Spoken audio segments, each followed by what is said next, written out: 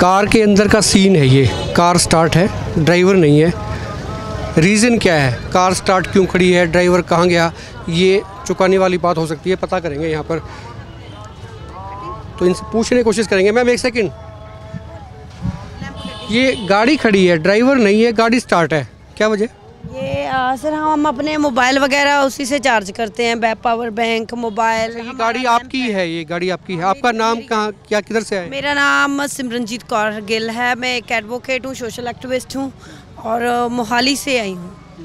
गाड़ी आपकी है तो कितने घंटे आपको ये फिर स्टार्ट करके छोड़नी पड़ती है ऐसे ही मोबाइल चार्ज करने के लिए? जितनी भी ज़रूरत होती है जब तक आ, मतलब जितनी ज़रूरत होती है उतनी देर इलेक्ट्रिसिटी का कोई कनेक्शन नहीं है कोई वर्चुअल कनेक्शन है हमारे पास तो ऐसा कोई कनेक्शन नहीं है। सारे ऐसे ही करते हैं चार्ज आ, जैसे इन्होंने अपने ट्रैक्टर को स्टार्ट रखना ट्रैक्टर की लाइट्स के साथ ही आ, जो खाना वगैरह पकाते हैं ये सारा कुछ इसी से मिला के पेट्रोल पे या डीजल पे आपके मोबाइल चार्ज होते हैं यही बिल्कुल बिल्कुल इसी चीज़ पे चार्ज होते हैं।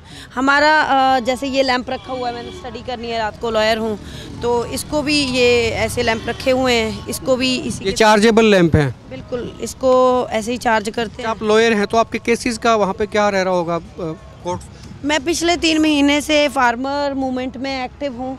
तीन महीने से मतलब ऐसा क्या बोलें भी बस काम बंदी है, क्योंकि ये हमारा ज़्यादा ज़रूरी है। अगर हम लॉयर भी बने, क्यों बने? अगर घर पे खेती करने वाले थे, मैं एक किसान की बेटी हूँ। घर पे खेती करके कमा के हमें दिया तो उसी के कारण हम वकील बने उसी के कारण हमने स्टडी की। अगर घर पे खेती पे निर्भर ही ना होता खेती से हमें कुछ मिलता ही ना तो हम पढ़ते कहाँ से? और आज सब कुछ जो कुछ है अपनी ज़मीन अपनी खेती के कारण है तो आज हमारी ज़मीन हमारी खेती के ऊपर लात बजेगी तो हमें सबको खड़े तो होना ही पड़ेगा। अच्छा हमारे लिए वो चीज़ों खेती पे खेती पे लाज लात बजेगी मतलब बोले तो उस पर अगर नुकसान होगा तो चीज़ें बिगड़ सकती है और इसीलिए आप देख रहे हैं कि वकील है पेशे से लेकिन कोर्ट छोड़ के यहाँ पर किसान आंदोलन में संधू बॉर्डर पर ये डटी हुई है मोबाइल चार्ज करने के लिए और दूसरे इक्विपमेंट्स चार्ज करने के लिए गाड़ी को स्टार्ट छोड़ना पड़ता है। डीजल लगता है पेट्रोल लगता है तब जाके चीज़ें चार्ज होती हैं। लाइट की व्यवस्था नहीं है लेकिन फिर भी डटे हुए हैं।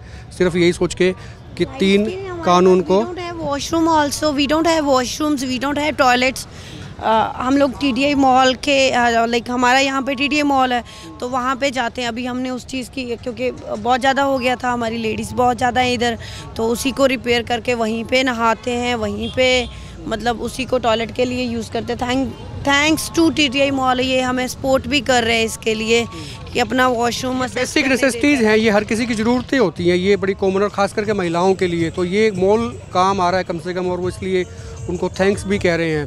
और क्या दिक्कतें क्या आ रही हैं आपको? काफ़ी दिन से आप रुके होंगे। अपने घर के बाहर तो दिक्कत ही होती है ना, कहाँ हमारा बेडरूम है बेडरूम के साथ हमारा वॉशरूम है, साथ ही हमारा किचन है, ठीक है? और हम लोग गैस यूज़ करते हैं, हमें धुएँ की आदत नहीं है, लेकिन अब ठंड से बचने के लिए धुआँ भी औस पड़ती है टेंट भी गीले हो जाते हैं, हमारी तरपालें भी गीली हो जाती है इतना होता है। आ, एक दिन तो बारिश आई जिस दिन तो हमारे टेंट्स वगैरह सारे गीले हो गए हम लोग उधर गए फिर रात को भाग के मॉल के अंदर उसके कारण बीमार भी हो गए। सो चलो हम तो यंग हैं सरवाइव कर भी लेंगे। बुज़ुर्ग हैं आए दिन कभी किसकी कभी किसी की डेथ हो रही है। ये सारा कुछ सब चीज़ों के लिए प्रशासन टोटली रिस्पॉन्सिबल है हमारी कंडीशन के लिए। सरकार को क्या कहेंगे? आखिरी सवाल। सरकार को यही है कि आपको यस और नो बोला है कि हाँ मतलब हमारे ये तीनों कानून हैं विद बोथ टू ऑर्डिनेंस इनको वापस लो, रद्द करो और हम अपने घर जाएँ, हम अपना काम करें।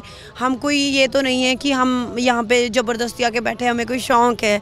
अपने घर से दूर आने का किसी का मन नहीं करता, बुज़ुर्गों का मन नहीं करता, किसी का मन नहीं है।